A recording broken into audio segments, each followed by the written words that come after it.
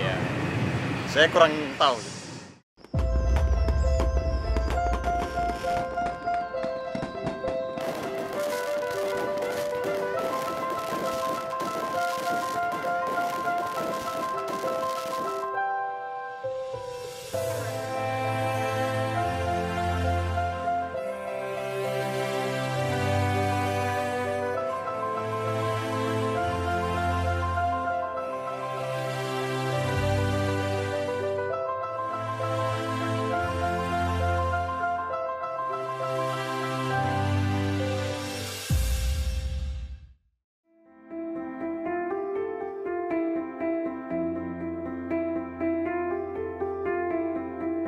Hampir semua kota di dunia memiliki bangunan yang menjadi simbol kota.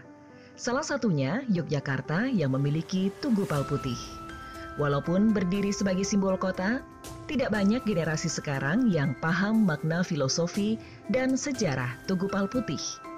Tugu hanya menandakan bahwa Anda pernah berada di kota Yogyakarta. Tugu ini dibangun kurang lebih ya semasa awal pendirian istana ya, yang kalau istana itu didirikan pada tahun 1755 56 ya mungkin di sekitar itu sekitar 1760-an itu selesai. Memang dirancang dan in, merupakan gagasan inisiatif dari Sultan sendiri Sultan Hamengkubuwono pertama. Karena beliau seorang perancang ya, seorang perancang dan seorang uh, ahli ini taktis militer pertahanan dan sekaligus ahli, anu, mempunyai pandangan filsafat yang cukup tinggi. Artinya B1 Sri Sultan Hamengkubuwono yang pertama itu adalah bergelar ngaso dalem sampean dalem kang sinuwun. Kanjeng Sultan Hamengkubuwono Senopati Ngalogo Abdul Rahman Saidin Panotogomo Kalifatullah ingkang jumeneng kaping sepisan. Itu arsitek keraton Yogyakarta, arsitek keraton Surakarta. Posisi Tugu terletak di pusat kota, tepatnya di tengah perempatan Jalan Pangeran Mangkubumi, Jalan Jenderal Sudirman, Jalan AM Sangaji, dan Jalan Diponegoro. Tugu merupakan filosofi kepemimpinan Jawa yang dimonumenkan oleh Keraton Yogyakarta. Tugu Palputih berdiri di bentangan garis imajiner yang membujur dari selatan kota hingga ke utara. Sultan Hamengkubuwono pertama, ya waktu mendirikan keraton Yogyakarta Hadiningrat, sekaligus tersusun uh, pemikiran untuk menyusun tata ruang keraton Yogyakarta termasuk uh, mengenai arah dan kiblat dari keraton. Nah, sampai juga tadi terpikir untuk membangun uh, sebuah tugu atau monumen sebagai tanda batas wilayah uh, kota istana yang ada di sebelah utara keraton. Waktu perjuangannya ya, mulai dengan mendirikan atau merebut kembali separuh dari kerajaan Mataram itu dasarnya adalah perjuangan golong gilik ini. Perjuangan persatuan kesatuan itu. Sampai HB1 itu diangkat oleh rakyatnya. Karena negara Mataram waktu itu diserahkan kepada Belanda oleh PB kedua. Maka beliau ingin merebut kembali hanya dapat separuh yang sekarang menjadi Mataram Jakarta ini yang kemudian menjadi daerah istimewa Yogyakarta ini. Nah perjuangan dengan darah dan air mata. Tanpa adanya persatuan kesatuan yang golong gilik tadi, itu sebetulnya rumusan Pancasila. Itu adalah gotong royong. Garis imajiner yang memiliki makna filosofi tinggi dimulai dari Pantai Parangkusumo, Panggung Krapyak, Keraton Yogyakarta, Tugu, dan berakhir di Gunung Merapi. Garis ini memiliki makna perwujudan dari simbolisasi hubungan antara rakyat dengan rajanya dan antara Tuhan dengan hambanya, yang dikenal masyarakat Jawa, Manunggaling Kawulo Gusti. Manunggaling Kawulo Gusti inilah yang membuat Sultan harus mendekatkan tahtanya kepada rakyat. Karena Sultan tetaplah manusia biasa yang diberikan amanah untuk memakmurkan rakyatnya. Dalam memerintah, Sultan yang bertahta harus berpatokan pada hukum Tuhan. Hukum Tuhan dalam Kesultanan Yogyakarta berpedoman pada agama Islam sebagai agama negara yang ditransformasikan dengan kepercayaan Jawa kuno akan Tuhan penguasa semesta.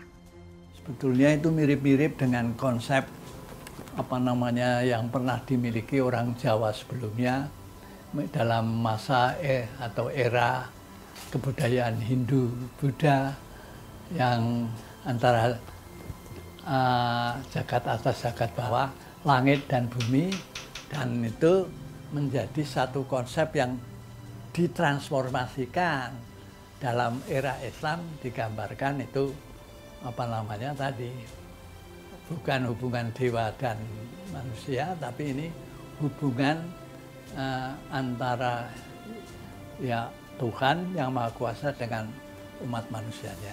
Yang itu pengertiannya persatuan kesatuan antara manusia satu dengan yang lain dan antara manusia dengan yang Maha Kuasa. Hablum minallah minanas betul-betul sangat mengganggu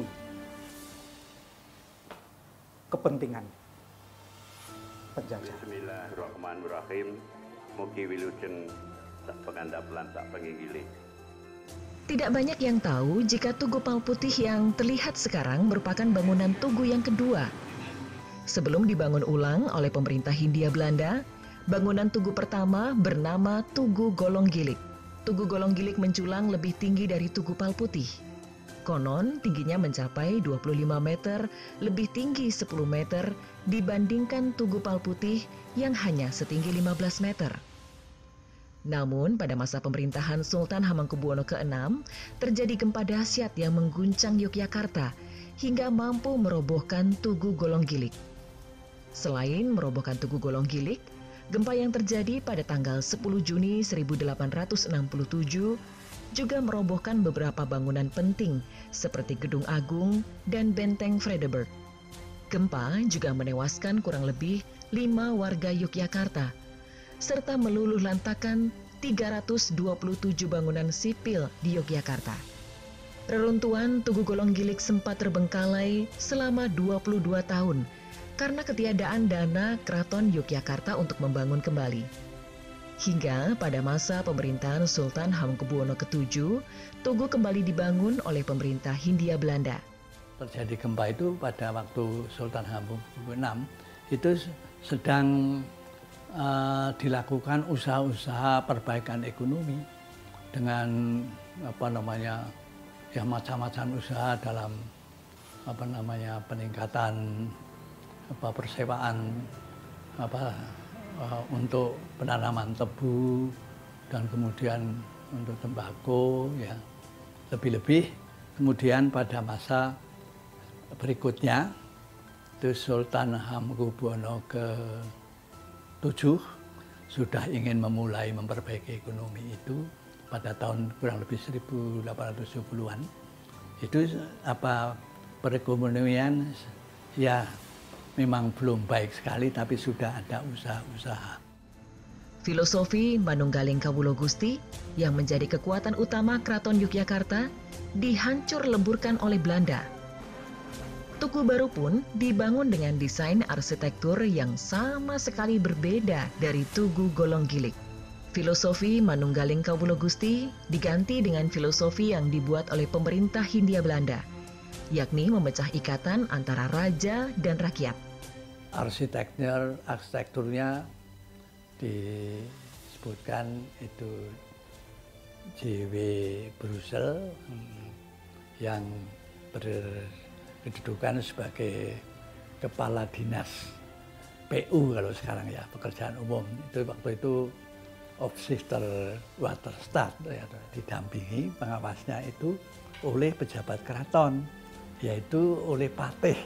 Keraton itu ada jabatan patih. Patih itu Perdana Menteri kalau zaman sekarang. Itu yang bernama itu Kanjeng Raden Adipati Danurejo kelima. Ini sebetulnya pembangunan itu diprakarsai, kemungkinan juga dibiayai oleh Patih. Yang notabene adalah orangnya Belanda. Sebagian. Nah ini kita memang dalam suasana penjajahannya seperti ini. Penghancuran makna filosofi ini penting bagi Belanda yang memang ingin memecah belah kesatuan raja dan rakyat yang menjadi kekuatan utama Keraton Yogyakarta untuk melawan kekuasaan Belanda. Bangunan Tugu yang baru selesai dibangun pada tanggal 3 Oktober 1889. Tugu inilah yang kita kenal sekarang dengan nama Dewi Tepal atau Tugu Pal Putih. Setelah apa tidak berbentuk tadi tugu yang semula yang disebut golong gilik, maknanya juga sudah bergeser. Ya, maknanya hanya sebagai lambang lambang kota ya. Lambang kota yang yang simbolis sebagai apa ikon kota saja, kota praja, kota praja Belanda. Empat sisi bagian Tugu Pal Putih memiliki masing-masing makna, yaitu panel sisi barat, menyematkan nama pembuat tugu, yaitu Sri Sultan Hamengkubuwono ke-7. Sisi timur menyambut baik kehendak Ngarso dalam Sultan. Sisi utara menyiratkan pembangunan tugu merupakan inisiatif Patih Danureja kelima. Dan sisi selatan tertulis kesejahteraan bilik pimpinan negara. Tulisan yang ada di sisi selatan inilah yang secara tidak langsung menjauhkan arti kepemimpinan raja yang menyatu dengan rakyat. Jadi kesejahteraan bagi pimpinan negara. Bukan golong gilik, bukan untuk rakyat. Ya. ya. Di sini sudah sangat berbeda. Bersamaan dengan dibangunnya Tugu Pal Putih oleh Belanda, Sultan Hamengkubuwono ke-7 juga mendirikan Tugu di titik 0 km yang sekarang. Pembangunan ini adalah upaya keraton untuk mempertahankan keberadaan dan makna Tugu Golong Gilik yang sudah diganti dengan Tugu Pal Putih. Tugu yang dibangun serupa dengan Golong Gilik ini pun akhirnya dimanipulasi oleh Belanda untuk mengaburkan makna Golong Gilik. Tugu ini tidak bertahan lama karena hilang begitu saja seiring pergantian tahta Kesultanan Yogyakarta. Bentuknya memang golong gilik tetapi giliknya, eh golongnya itu diberi lampu. Di gitu loh. Jadi ada dua waktu itu. Sampai sampai pada eh, pada akhir dari eh, pemerintahan AB 7 Tugu yang sekarang sudah ada juga karena itu dibangun pada AB 7 Walaupun banyak orang tidak tahu lagi makna tugu, namun filosofi Manunggaling Kawulo Gusti yang berada dalam Tugu Golong Gilik sampai hari ini tetap mendarah daging di antara warga Yogyakarta. Hal ini terbukti dengan disahkannya keistimewaan Yogyakarta dengan mengangkat langsung Sultan Yogyakarta sebagai pemimpin daerah atas desakan rakyat Yogyakarta sendiri. Sebagai kepala daerah sebagai kepala daerah, sebagai wakil kepala daerah, sebagai wakil kepala daerah dengan sebaik-baiknya dan seadil-adilnya, dengan sebaik-baiknya dan seadil-adilnya. Semangat golong gilik itu tetap ada dan tetap dipegang teguh sampai Belanda itu pergi dari Nusantara ini, ya, dari Indonesia ini, yang dimulai dari Yogyakarta, Ngai Jokarto Hadiningrat, Mataram. ora iso wae mutusake utawa rembugan babagan Mataram. Luwih-luwih kalenggahan tatanan Mataram